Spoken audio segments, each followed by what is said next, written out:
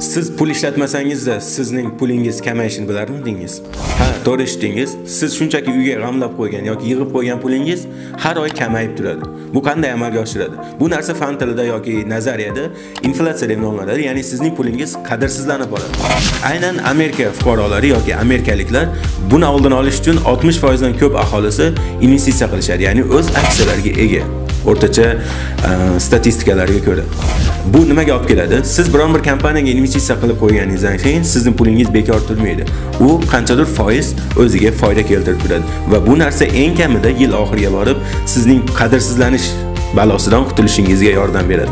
Ya'ni qadrsizlanish bu inflyatsiya. Ya'ni bugungi sizning 10 ming so'mingiz shuncha narsaga, ya'ni aytaylik 4 ta nonga yetayotgan bo'lsa, 1 yildan keyin bu narsa 2 kamayishi mumkin. Bu narsadan qutulishning eng yaxshi yo'li esa bu investitsiya hisoblanadi. Shunday ekan, investitsiya qilishdan qo'rqmang va u Amerika bo'ladimi, Xitoy